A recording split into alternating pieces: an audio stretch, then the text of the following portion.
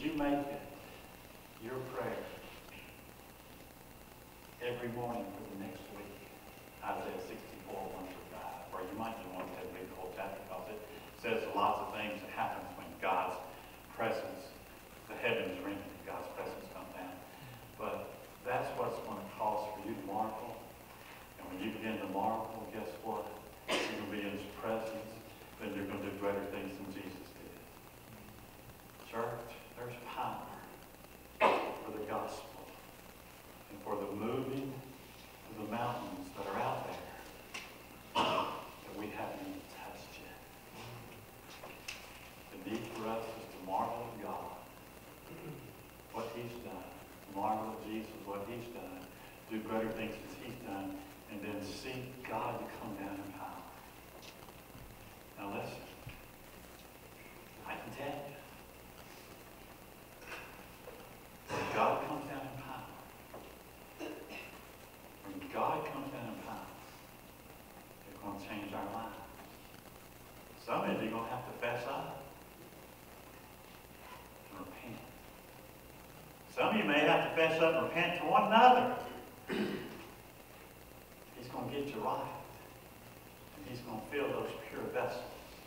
And he's going to flow through us like we've never noticed before. But you know what? We're going to be the happiest people in the world. Amen. When God does in us what God wants to do is we make ourselves the vessel. Make yourself a vessel for God. When he rents the heaven and comes down, he needs a place to fill. Let it be your life and mine. Amen? Amen. So Heavenly Father, because we're before you right now, until you do, we're just going to pray. O thou, rend the heavens and come down. And at your presence, may the mountains quake. And may the nations tremble. God, make that happen. We ask it in Jesus' name.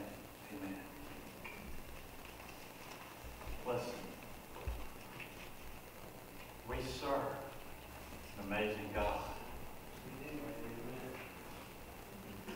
You don't know how deep amazing grace really runs if you're not marveling at the things of God.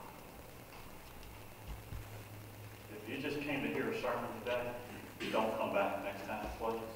Want to come to meet God. It's not about me, it's about Him. You got to come to meet God. Come with the expectation to meet God here. Because I, I can't do a whole lot for you. But God can. And my heart is that we come here and we meet God together. Because I want to tell you, I need God just as much as you do. Now listen. What we come here meet God. Ask God to come down so that he can fill our lives so we can live our life out for his glory. Amen? Brother Tim, y'all come up and do the invitation, please. This is not my invitation. This is God's invitation. I know what God wants. If you're not right, he wants to get right. Come to the altar and pray. If you're lost, he, he went to the cross so you could get saved. Come, we'll talk about Jesus, tell you how to know him whatever you need is. You need to be anointed? Yeah, we, we got right down here. There's all on the. You come and make guess what we'll do? We'll respond to that. If you need a place to plant your life and perhaps the church is going to love you, well, you found one. But the only thing is, God's going to tell you what to do. You can't come because we asked you to come. You got to come because God told you to come. Because we're not the Holy Spirit in your life. Holy Spirit's telling you to join this fellowship this morning. Guess what? We're ready to receive you. Amen, church? Amen. Amen, church? Amen. Amen, church? They're really ready now. All right? So whatever you need. If you need a church family, we'll try to be the best church family you ever had. If you need salvation, we know the best Savior you can ever have. He- he- We know the greatest healer you can ever know. Whatever need is dancing and come as the Lord. Precious Lord.